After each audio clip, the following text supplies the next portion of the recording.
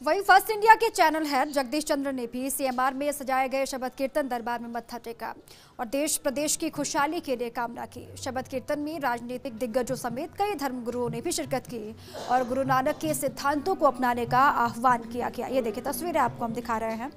First India news channel के channel head वहाँ पर पहुँचे, जगदीश चंद्र, और उन्होंने भी वहाँ पर मत्था टेका। साथ ही साथ देश प्रदेश में खुशहाली के लिए कामना की और कहा कि गुरु नानक के जो सिद्धांत थे, उस पर सभी को चलना चाहिए।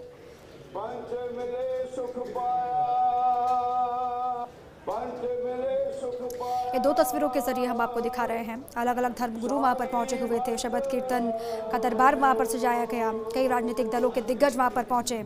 और साथ ही साथ First India channel head Jagdish Chandra ने भी वहाँ पर पहुंचकर मत्था टेका।